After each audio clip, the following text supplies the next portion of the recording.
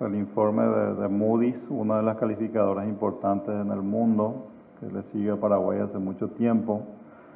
que nos ubica prácticamente un peldaño por debajo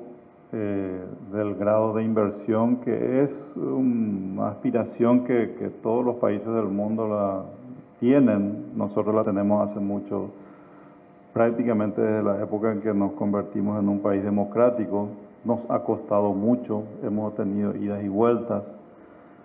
Y este es un poco el reconocimiento de que en los últimos 20 años hemos mantenido una política fiscal ordenada,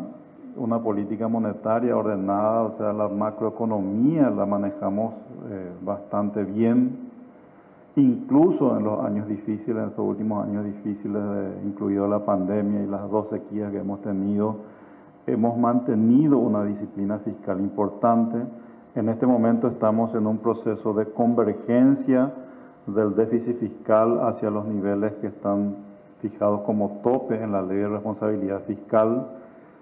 eh, y la venimos cumpliendo, pero eh, deja, eh, esto es un desafío muy importante porque nos pone con el peldaño por debajo del grado de inversión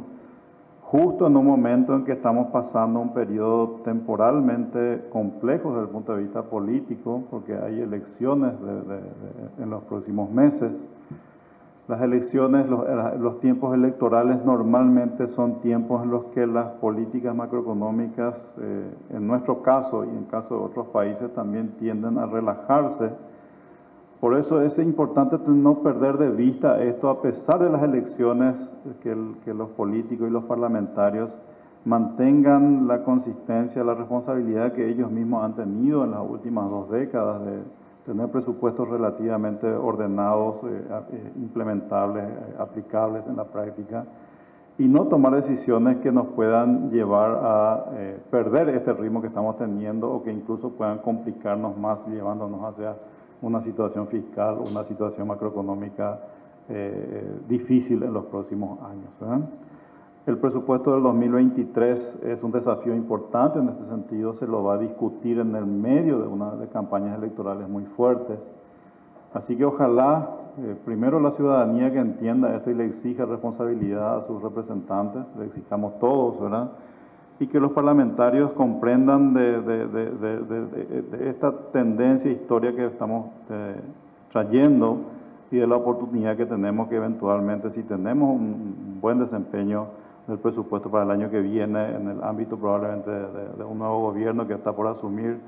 es probable que podamos pasar a, tener ese grado de inversión, esa calificación que es tan importante para el futuro del desarrollo de nuestro país. Así que de eso estuvimos hablando con el ministro. Del, hay, hay reformas también que, que las calificadoras nos ponen como tema pendiente, que lo, lo estuvo citando aquí el el presidente de la, la Unión Industrial Paraguaya, que claramente es, la, es la agenda de mediano plazo que tenemos de aquí a los próximos dos o tres años seguramente, ¿verdad? Pero lo fundamental es que en, este, en esta coyuntura, de aquí hasta mediados del año que viene, nosotros tenemos que mantener y consolidar esta política fiscal, esta política económica y este, finalmente esta economía ordenada que estamos trayendo desde hace dos décadas. Creo que para mí eso es lo más importante que deberíamos de transmitir a la gente.